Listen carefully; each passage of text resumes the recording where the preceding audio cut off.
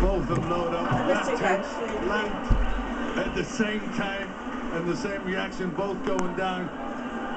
Brenda recovered the quicker of the two, but this doesn't happen very often.